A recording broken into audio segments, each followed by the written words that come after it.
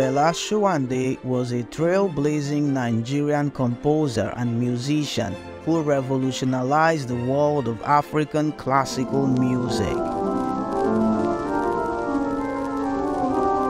Born in 1905 in Abeokuta, Nigeria, Sowande was a gifted child who began playing the piano at the age of four.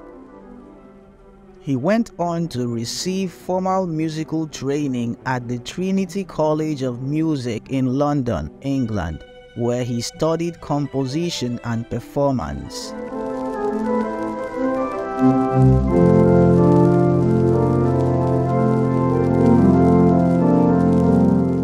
After completing his studies, Sowande returned to Nigeria where he quickly established himself as a prolific composer and performer. He became the first African to conduct a symphony orchestra in 1944 where he conducted the Lagos Philharmonic Orchestra in a performance of his own compositions.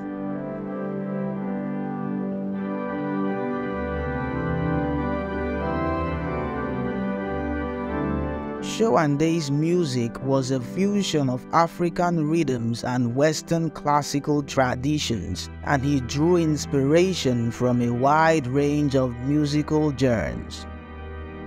He was known for his use of complex polyrhythms and his innovative arrangements, which incorporated elements of African and Western music.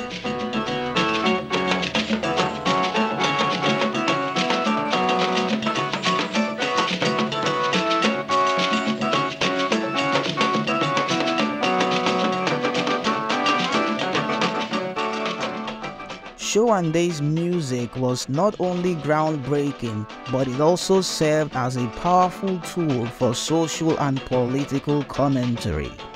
African music, like African life, is changing. We've had a mingling of two cultures, and each has much to learn from the other. We are sure that we have much to gain from the, the, the West, and that we are uh, expanding our own musical vocabulary through this contact. But in the main, what we hope to do is to reach back to our past, to preserve it, to use it as a foundation on which to build. Because it's been truly said that the man that has no past has no future. In addition to his work as a composer and performer, Sowande was also an influential music educator.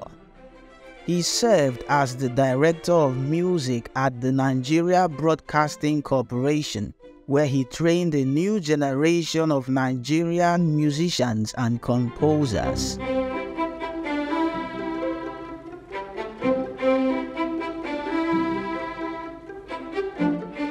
Sadly, Sowande's career was cut short by illness and he passed away in 1987. However, his legacy as a pioneer of African classical music continues to inspire musicians and audiences around the world.